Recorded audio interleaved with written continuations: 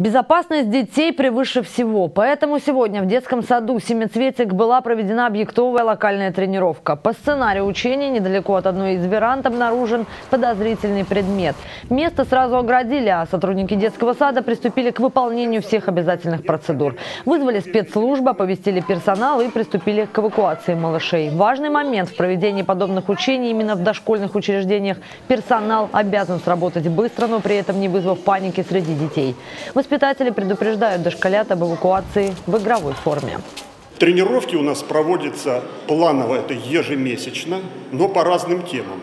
То пожарная безопасность, то антитеррористическая безопасность, понимаете, то по вопросам, связанным с э, химическими источниками и так далее. Так каждый месяц. Иногда накладка получается, из-за того приходят общегородские тренировки. Тогда получается даже по две.